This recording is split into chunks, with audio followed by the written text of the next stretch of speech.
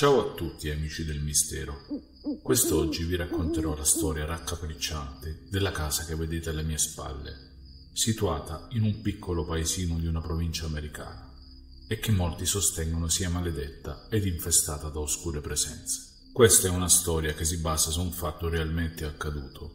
In questa casa, decine di anni fa, fu trovato il cadavere oramai carbonizzato di una donna, occultato sotto le assi del pavimento in cantina in seguito al folle gesto omicida del proprio marito. Da allora sono molte le leggende e le dicerie che si tramandano tra gli abitanti del luogo. Si narra che lo spirito della donna continui ad aggirarsi tra quelle mura oramai abbandonate e di numerose e improvvise sparizioni di coloro i quali siano stati così audaci da avventurarsi al suo interno con l'intento di esplorarla. Ma c'è un episodio in particolare che fu narrato da un giovane di nome Daniel che pare sia riuscito miracolosamente a fuggire da quella casa maledetta. Fu trovato nei boschi che vagava in preda al delirio e alla pazzia. Ci sono voluti ben 12 anni prima che il giovane potesse riprendersi e raccontare la terribile esperienza vissuta insieme al suo amico Matthew. Io sono Ethan Sombre e vi do il benvenuto ad un nuovo episodio di Storie da Brivido.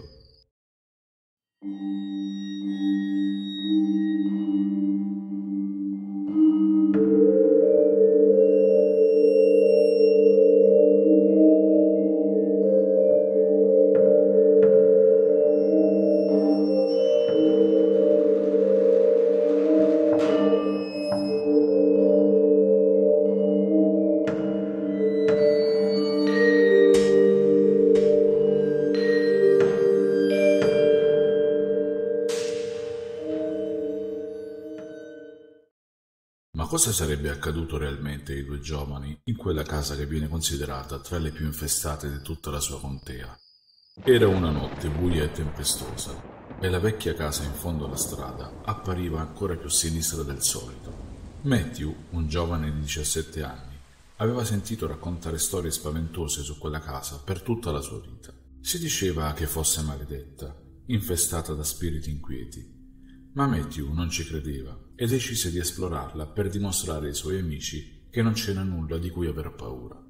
Chiamò il suo migliore amico, Daniel, affinché lo accompagnasse nella sua avventura.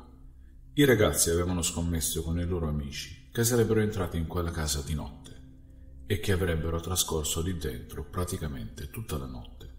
Daniel era molto terrorizzato all'idea di quell'avventura, ma alla fine, dopo molta insistenza di Matthew, riuscì a farsi convincere ad accompagnare il suo amico. I ragazzi iniziarono ad incamminarsi verso la casa e, una volta giunti a pochi metri dalla stessa, una sensazione di freddo e paura si impadronì di loro. La porta principale era socchiusa. I ragazzi la spinsero leggermente e la stessa, con un rumore che sembrava quasi un lamento, si aprì scigolando leggermente nel vento. Con un respiro profondo, Matthew e Daniel erano appena entrati dentro la casa maledetta. L'interno era ancora più tetro di quanto avessero immaginato. Polvere e ragnatele coprivano ogni superficie e l'aria era pesante e stantia. Camminarono attraverso il corridoio principale. Le loro scarpe scricchiolavano sul pavimento di legno marcio. D'un tratto una porta si chiuse violentemente alle loro spalle, facendoli sobbalzare. È solo il vento, si dissero, cercando di mantenere la calma, ma il cuore batteva forte nel petto dei due giovani.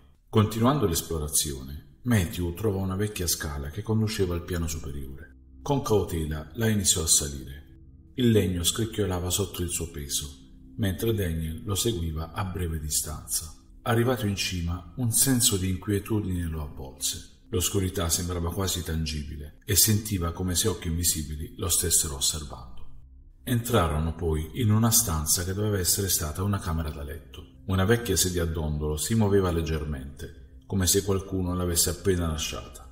Sentirono un sussurro appena accennato, ma non riuscivano a comprendere esattamente cosa quelle parole stessero dicendo. Si voltarono di scatto, ma non c'era nessuno.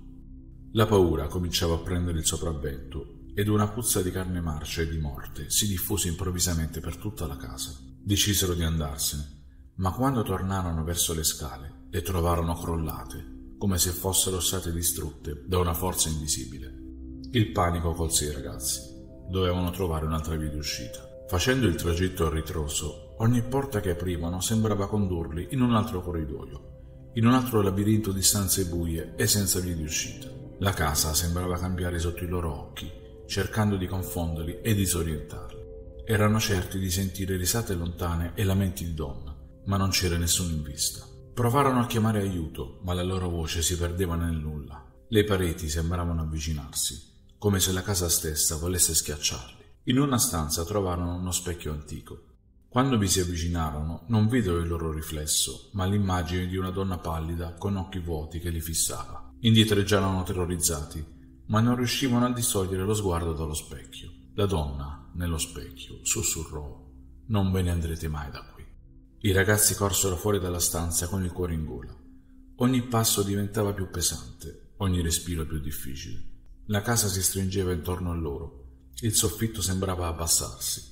Le ombre delle pareti prendevano forme mostruose che li inseguivano, pronte ad afferrarli. Alla fine, esausti e disperati, trovarono una piccola porta nascosta dietro una tenda polverosa.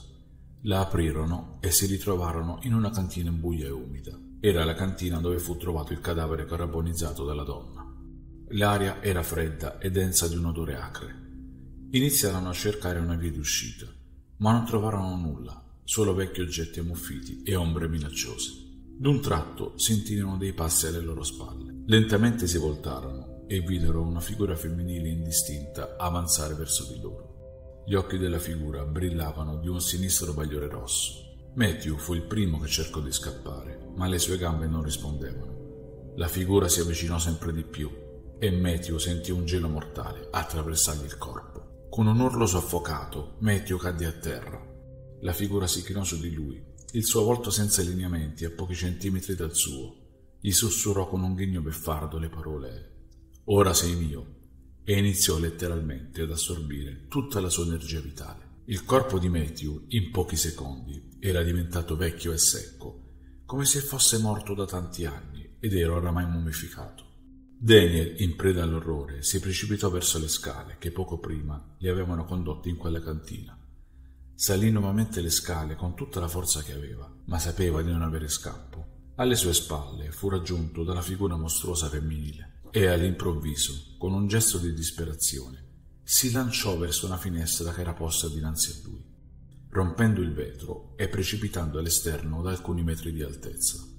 Nessuno vide mai più Matthew. Daniel, invece, del quale era stata denunciata la scomparsa alla polizia, fu ritrovato da un cacciatore dopo alcuni giorni che vagava nei boschi in preda alla follia e al delirio. Fu pertanto ricoverato alcuni anni presso una struttura sanitaria per malati mentali. Poi, un bel giorno, come se si fosse improvvisamente destato da quel torpore nel quale era caduto, si risvegliò gridando e riuscì a raccontare quello che, insieme al suo amico Matthew, aveva vissuto in quella casa maledetta. Da allora la casa giace sempre lì, abbandonata, silenziosa e minacciosa, in attesa della prossima vittima che sia così coraggiosa o abbastanza folle da varcare la sua soglia. C'è chi giura di sentire ogni notte continui lamenti provenire dall'interno della casa, ma nessuno ha avuto più il coraggio di mettere piede al suo interno, sia di giorno, ma soprattutto di notte. Spero che questa macabra storia abbia catturato il vostro interesse, anche perché, come ogni leggenda che si rispetti, la stessa prende spunto da un fatto realmente accaduto. E voi avete mai vissuto un'esperienza simile? Fatemelo sapere nei commenti. Io, nel frattempo, vi aspetto sul mio canale per un nuovo episodio di Storie da Brivido.